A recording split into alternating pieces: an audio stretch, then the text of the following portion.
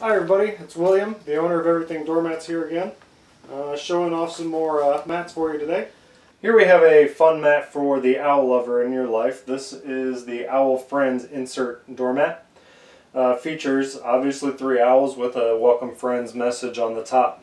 All of that's been dye injected into the polyester top surface of the mat which makes it fade and stain resistant because the ink is, is forced directly into the uh, fabric and then the recycled rubber back which makes it slip resistant. So you can use this mat either indoor or outdoor.